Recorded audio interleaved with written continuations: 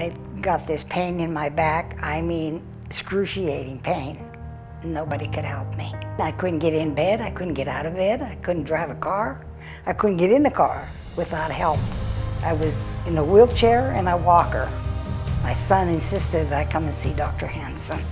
And after nine treatments, I'm fine. I'm great. So I, will tell you, I've had, been given a different life. Call ProSpinal. It's time to get your life back.